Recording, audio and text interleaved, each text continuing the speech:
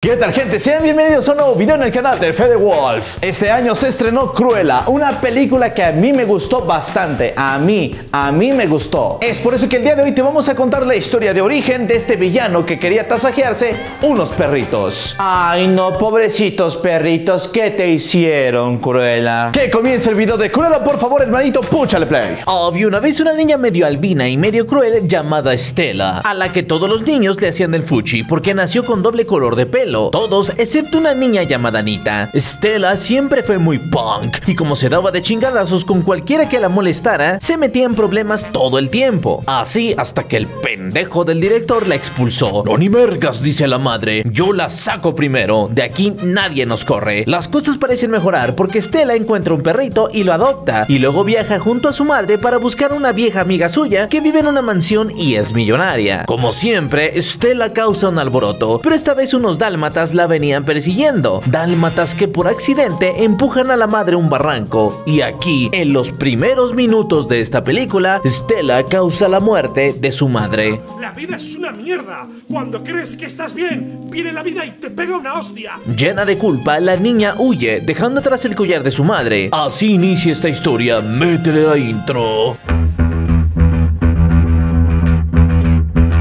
Como puede, Stella llega a Londres y se duerme en una fuente. Aquí conoce a dos niños rateros con un chihuahueño. Ellos se llaman Horacio, Jasper y Wink. Los niños aceptan a Stella y a su perrito y a partir de aquí se volverán inseparables. Con el paso del tiempo se convierten en expertos ladrones, gracias al enorme talento que Stella tiene para confeccionar atuendos y disfraces. El problema es que esto de robar no tiene mucho futuro que digamos. Bueno, a menos que seas político o manager de youtubers. Por lo mismo, Jasper le consigue un trabajo a Estela en una de las tiendas departamentales más famosas de moda. ¡Qué felicidad! ¡Qué felicidad decimos todos! Órale, a mí se me hace que el Gaspar ese se la quiere ligar a Emma Stone. Y es que quien no quisiera, ¿no? Tiene ojitos así como de gatito bien seductor. No, señor, el Gaspar y Estela son solo amigos. Aún existe gente bondadosa en el mundo que te regala cosas sin esperar nada a cambio. En fin, Estela se mete de lleno a su nuevo trabajo. Y aunque por ahora solo se dedica a limpiar los baños y el lugar en general, su plan es escalar poco a poco. Por eso tratará de darle ideas a los empleados para que se den cuenta de su potencial. Lo malo es que todos la ignoran y la hacen menos. Nadie, pero nadie la escucha. Una noche, el chingado jefe la pone a trabajar horas extras y como ya está harta de tanta tontera, decide echarse unos tequilitas como hijos no. No creo que nada malo pase, ¿no? Al día siguiente, Stella despierta y se va para atrás porque ha desmadrado por completo un escaparate que da a la calle y a su jefe le da la chiripiorca, pero no logra correrla, porque en eso llega la diseñadora de modas más grande del mundo mundial, la baronesa. El patrón intenta disculparse, pero en un golpe de suerte a la empresaria le encanta el diseño que Estela dejó en el escaparate, así que le pide a su asistente le dé su tarjeta a la joven para contratarla. ¡Eso, mamona!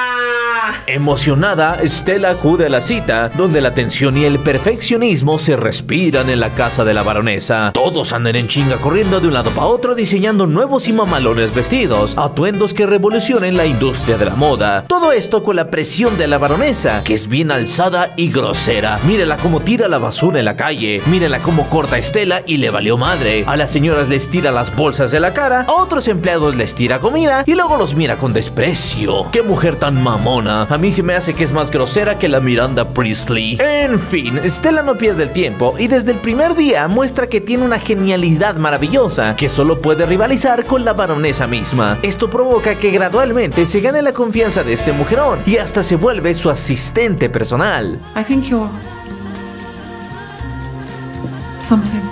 Hombre, la Estela andaba que volaba. Por fin podría dedicar su vida a lo que siempre le apasionó, la moda. Nada podría salir mal, nada. Espera un momento, dice Emma Stone, que un día y de la nada ve que la baronesa tiene el collar de su madre. Sí, el mismo que dejó atrás cuando era niña. Así descubre que esta empresaria es la vieja amiga a la que su madre pidió ayuda poco antes de morir. Como puede, Estela comienza a investigar qué hace esta mujer con el dichoso collar. Y así la baronesa le confiesa que efectivamente conocía a la madre, pero es menos que indiferente ante la tragedia. Mendiga vieja, ya ni porque era tu amiga. Mendiga vieja.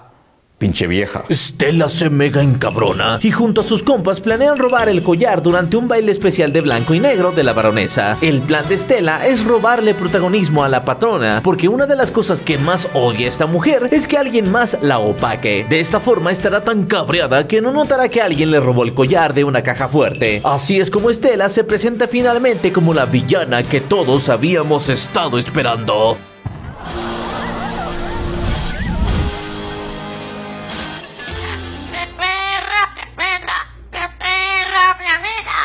La baronesa queda bien intrigada e invita a Estela a tomar algo con ella para preguntarle su nombre. Así formalmente se presenta como...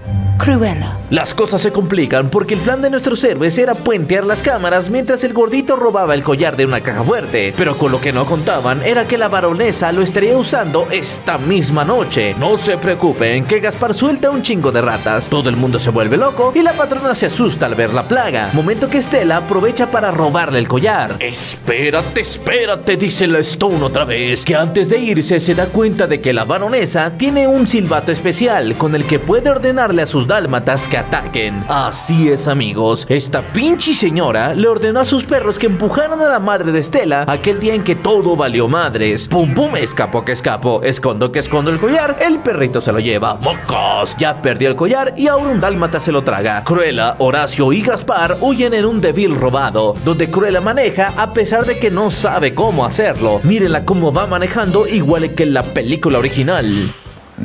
Con todas estas revelaciones, Cruella decide no solo vengarse de la baronesa, le va a quitar todo lo que le importa en la vida. Su primer paso será desprestigiarla y para ello necesitará la ayuda de su vieja amiga Anita, que ahora es fotógrafa y reportera en uno de los diarios más grandes de Londres. El segundo paso en el plan es secuestrar a los dálmatas para que hagan sus necesidades y así recuperan el collar. Y como último paso, Cruella visita un bazar en el centro, donde conoció a un talentoso diseñador llamado Artie, para que le ayude a confeccionar los mejores vestuarios del siglo. Que comiencen los guamazos mediáticos.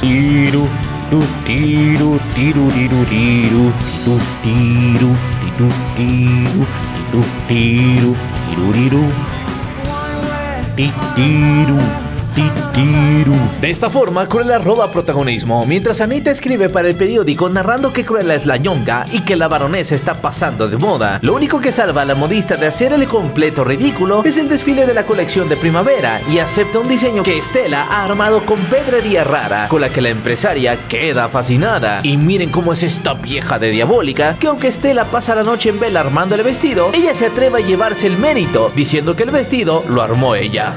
I've done it again.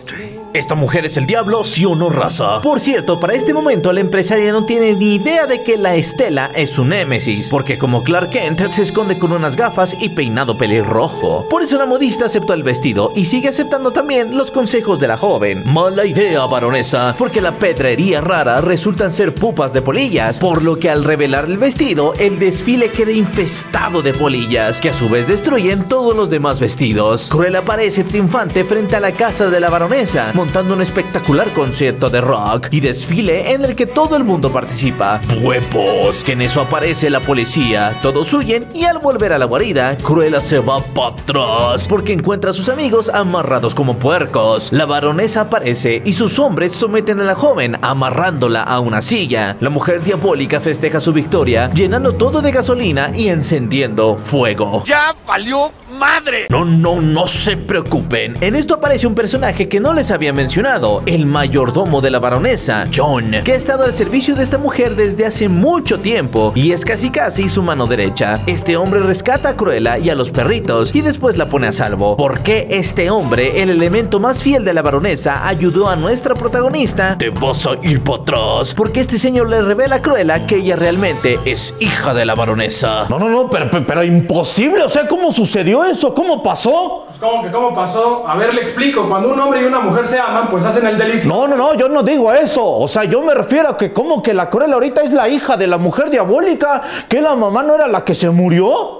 Pues sí, a ver, le explico. Entonces se desvisten y hacen el. No se preocupe, señor, yo se lo cuento. Fíjate que te cuento que resulta que la baronesa era tan narcisista que al dar a luz a Estela le ordenó a John que se deshiciera de ella y este se la entregó a una empleada para que la cuidara como su hija. Por eso la madre adoptiva regresó a buscarla para pedirle ayuda, pues las cosas con la niña se complicaron mucho desde que la corrieron de la escuela. Pero la baronesa no quería estorbos, así que la terminó matando. Esta revelación termina por consolidar la identidad de Cruella, una mujer mucho más capaz, inteligente y fuerte que la baronesa. Así, Stella libera a Horacio y a Gaspar de la cárcel para junto a Artie y John planear su golpe final. El grupo se infiltra en la mansión durante una gala de caridad donde todas están vestidas como Cruella, como homenaje por su muerte. Horacio encierra a todos los guardias en una habitación mientras Cruella se infiltra entre todas las demás Cruelas y mocos. Roba el chivato de los dálmatas, lo que conduce a la baronesa hasta aquel acantilado donde asesinó a la madre adoptiva. Ay, no, qué nervios. ¿Qué va a pasar? ¿Qué, qué nervios, qué nervios? La baronesa confronta a Estela, que le confiesa por fin que es su hija. La mujer diabólica luce asombrada, pero concluye que si Estela es tan extraordinaria y talentosa es porque es su hija. A la par, Artie, Gaspar y John le piden a todos los invitados que salgan al balcón mientras los guardias se liberan y llega la policía. Así la baronesa se acerca a Estela sin saber que sus invitados la están mirando. Abraza a su hija y entonces...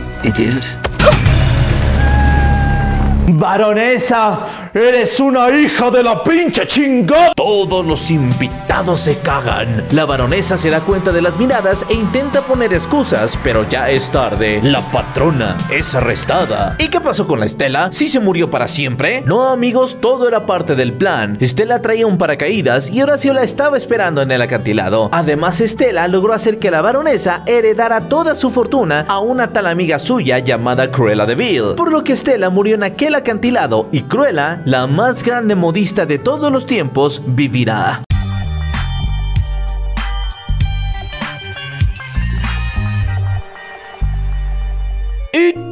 Aquí termina la película y Cruella creció amando las pieles y quería hacerse un abrigo de dálmatas, pero unos perros le partieron su madre. Luego cantaba en medio del tráfico y era hija de Batman. Y John se convirtió en agente secreto y se andaba dando de chingadazos con Shazam. Y Gaspar también creció y se parecía al Dr. House. Neta me lo dijo un primo. Fin. Y bueno, gente, así que dejamos la historia en un video de Cruella, también conocida como Joker, pero bonita. Espero te haya gustado, te haya divertido. En la parte de abajo te dejo mi Twitter, Facebook y también Instagram. Recuerda que ya va a comenzar la temporada de terror aquí en Fede Lobo, entonces subiremos varios videitos dedicados al terror. Uy, qué miedo, no me vayan a espantar tanto. Uy, qué terror. Así es, viejo cabrón, muchas historias vendrán de terror. Por el momento yo me despido, en la parte de abajo te dejo mi Twitter, Facebook y también Instagram. Yo me despido hasta el siguiente video de Fede Wolf. Bye.